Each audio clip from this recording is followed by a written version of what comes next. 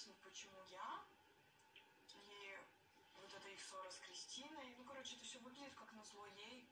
И Кристина как раз